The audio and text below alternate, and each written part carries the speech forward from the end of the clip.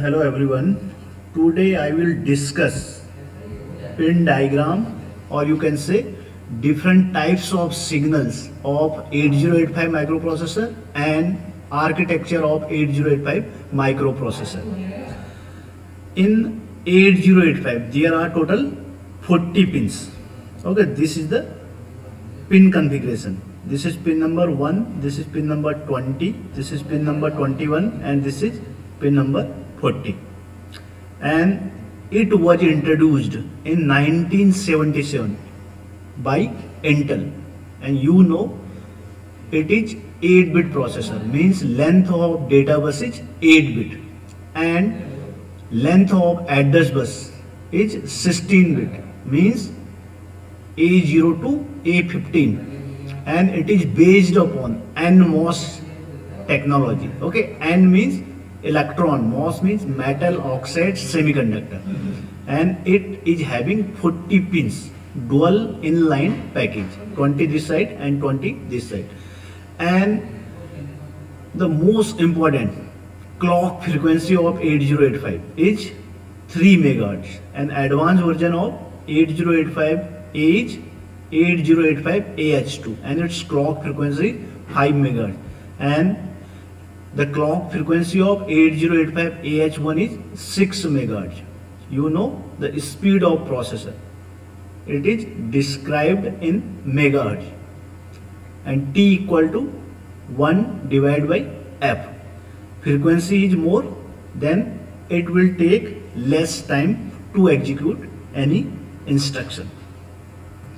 Now, this is your pin configuration. Okay, this is pin number 1, pin number 20, then 21 to pin number 40 now the first thing what you need to operate any IC we require regulated power supply plus 5 volt. This pin number 40 is VCC this is plus 5 volt. And pin number 20 this is your VSS it is nothing it is ground. Okay? And you know length of address is 16 bit so A0 to a0 to A7 here and A8 to A15 here. And length of data bus is 8 bit. So D0 to D7 so you have to remember there is multiplexing of lower order address bus. Lower order address bus means A0 to A7 with data bus. Means D0 to D7 if we combine both it is AD0 to AD7 now how will you remember different types of signals? Okay there are timing and control signal. There is address bus and data bus. There are interrupt signals. There is serial input output signal. There is clock and power signal. X1 x2 this is crystal input. One crystal oscillator is connected at pin number 1 and 2 okay now we will discuss on the basis of different types of signals so that you can remember what is the function of each pin of 8085. First address bus and data bus signal, then control and status signal, then power supply and frequency signals, then interrupt signal. Okay, interrupts mean, what do you mean by interrupt? When microprocessor receives any interrupt service, what it does? It stops current execution and program control is transferred to any subroutine and after execution of the, that subroutine again program control is transferred to main program okay there are reset signal okay there are two reset signal DMA signal direct memory access signal and serial input output port signal there are two signal SID and SOD these are based upon serial input and serial output data if you want to transmit one bit at a time then we will use SID and SOD okay now I will discuss one by one. First address bus and data bus. Okay the address bus is group of 16 lines. From A0 to A15 the address bus is unidirectional you are already aware address bus is unidirectional why? Because bit flow in only one direction from the microprocessor to peripheral devices. Okay and there is multiplexing of lower order address bus and data bus. Lower order address bus means A0 to A7 okay? And data bus means d0 to d7 okay?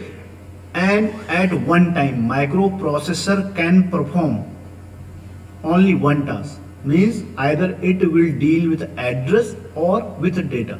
So we need to separate separate this address and data bus. For this we have one signal control signal ALE address latch enable. Okay?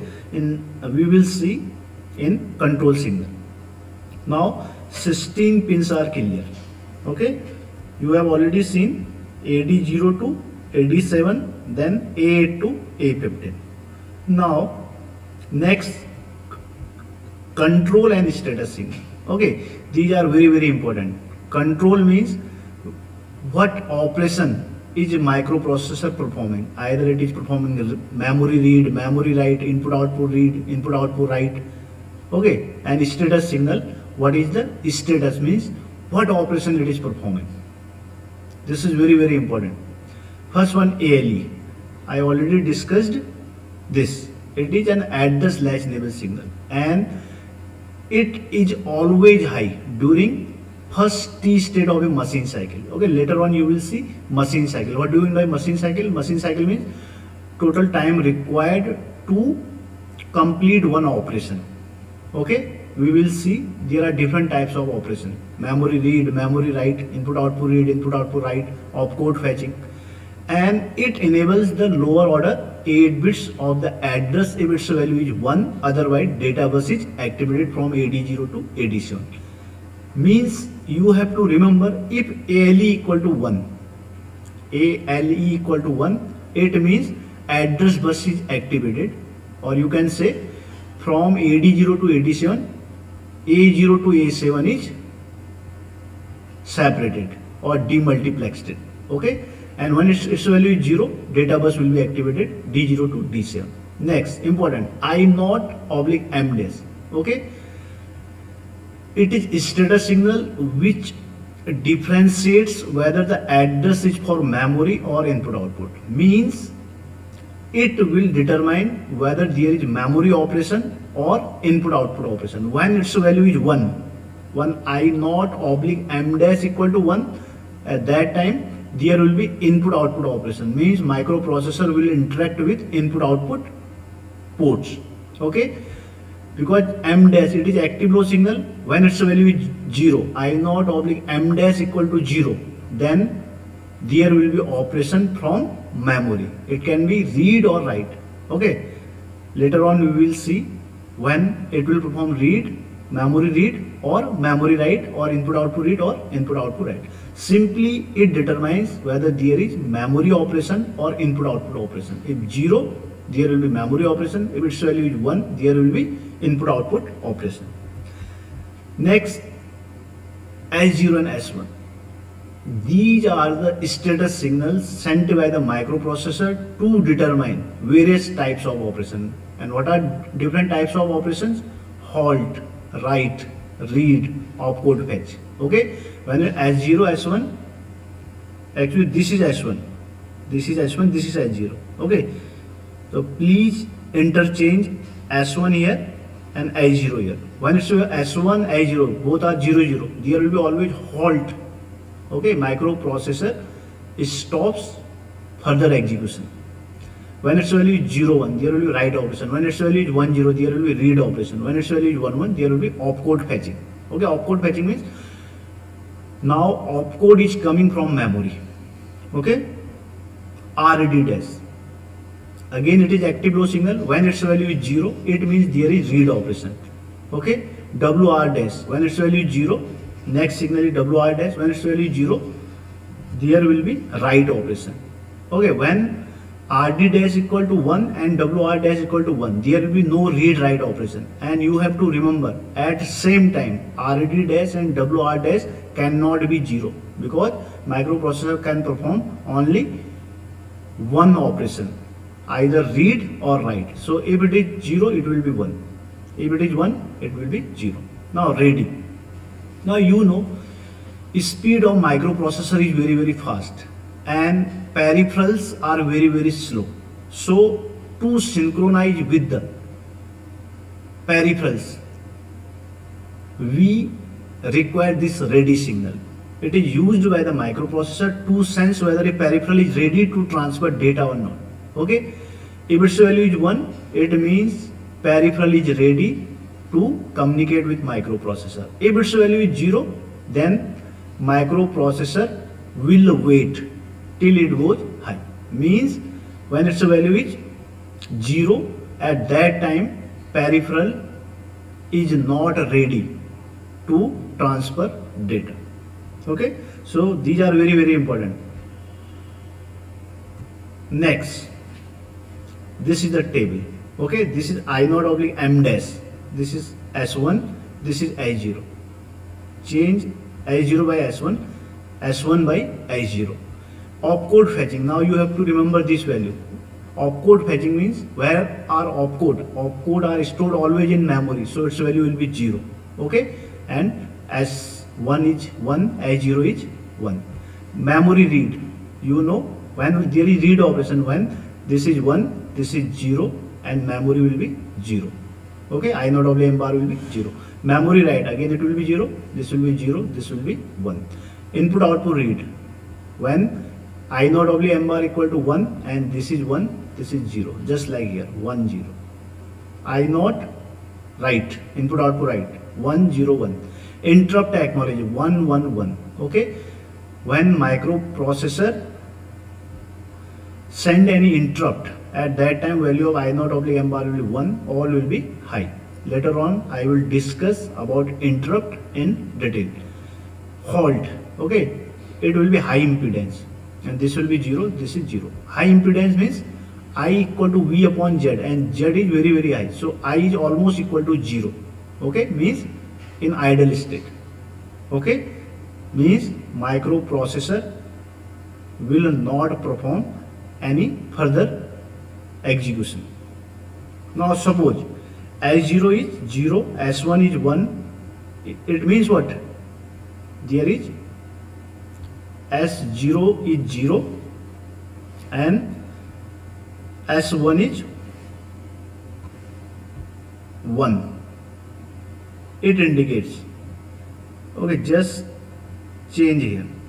S0 0 1 actually I am changing according to it.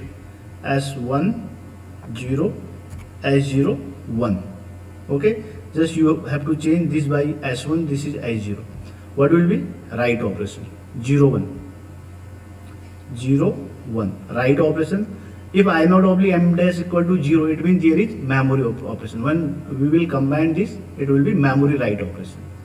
So you can determine what will be the value of S1, I0, RD bar, WR bar and I naught oblique M bar. One more example I am taking. Suppose S1 is 1, S0 is 0.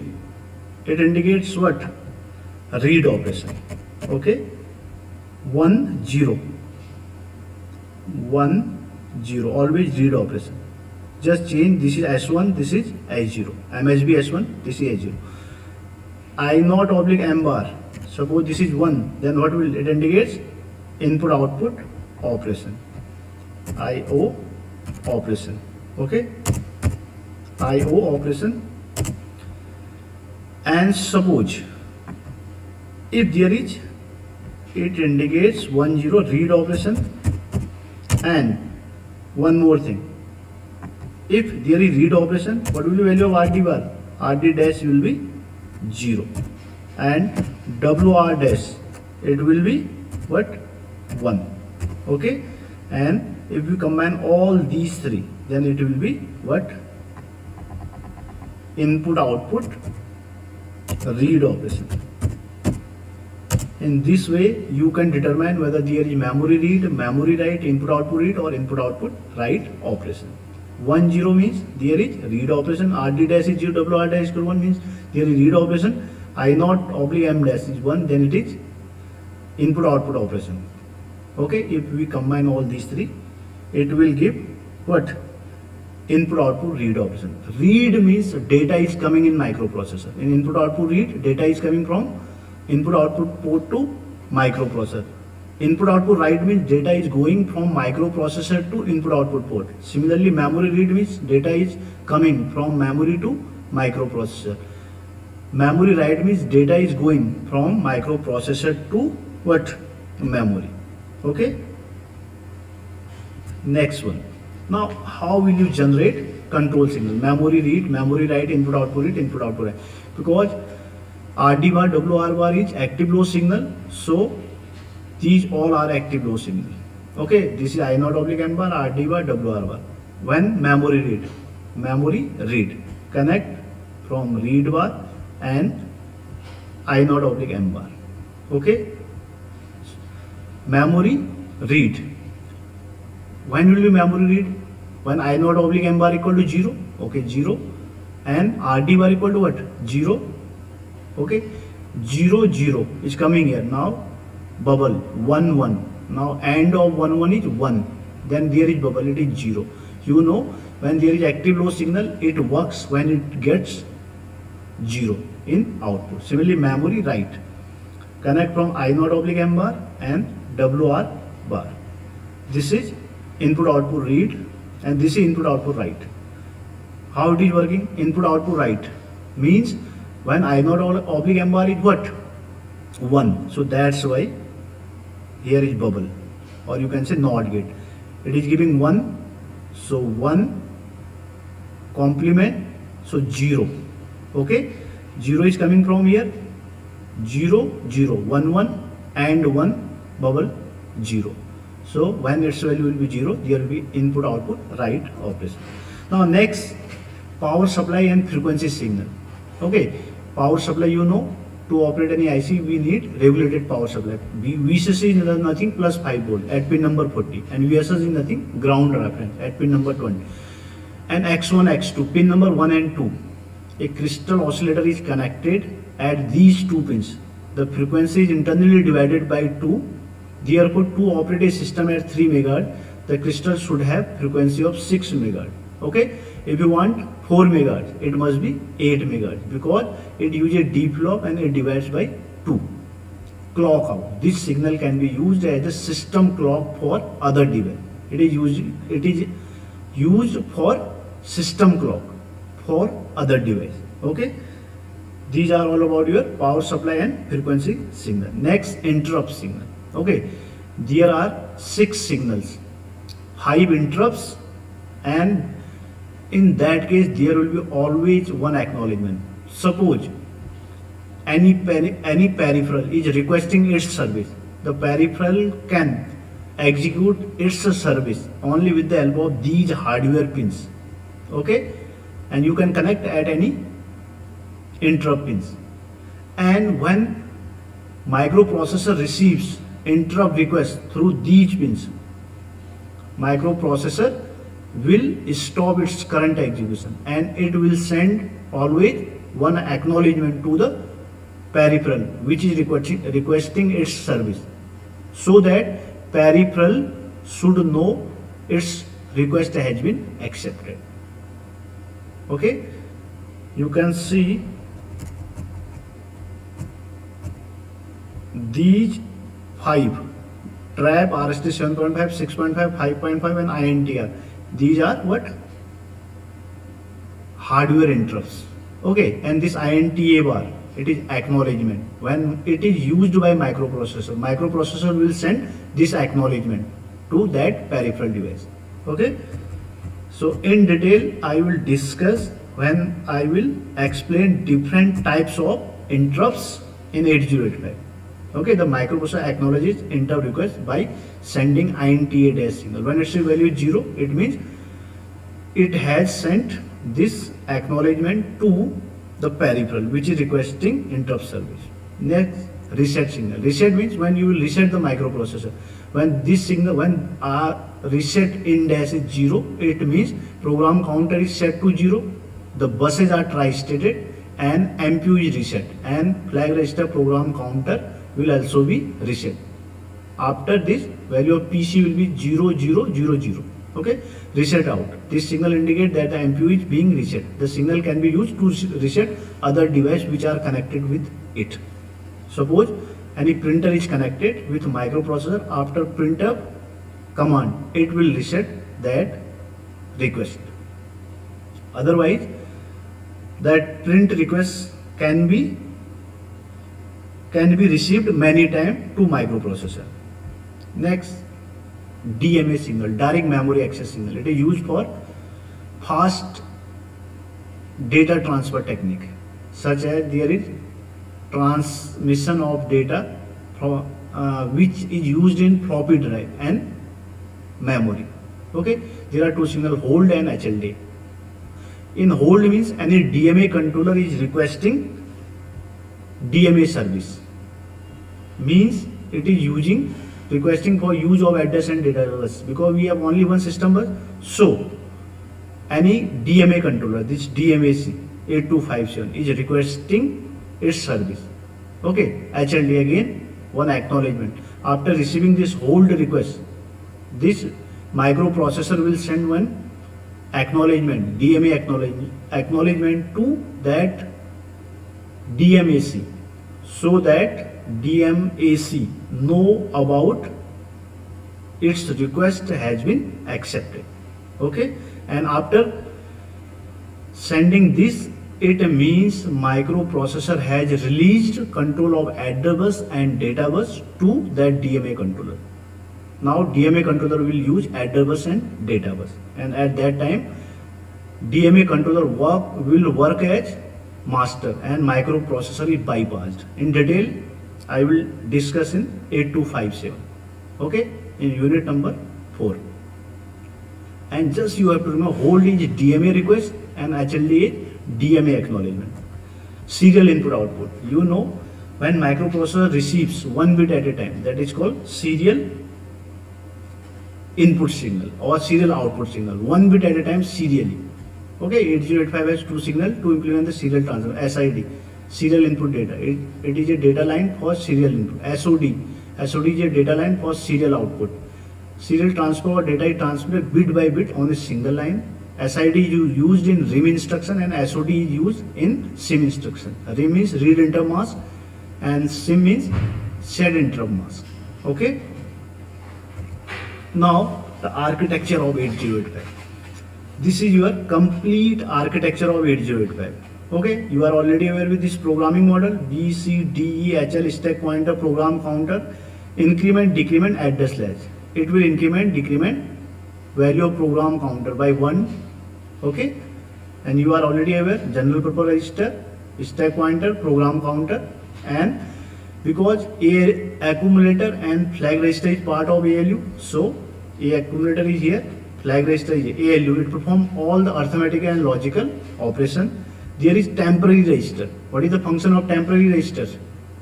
Temporary register, there are W and Z, two register W and Z, which are used in XCHG and call instruction. Okay? And this is your timing and control. This is timing and control block.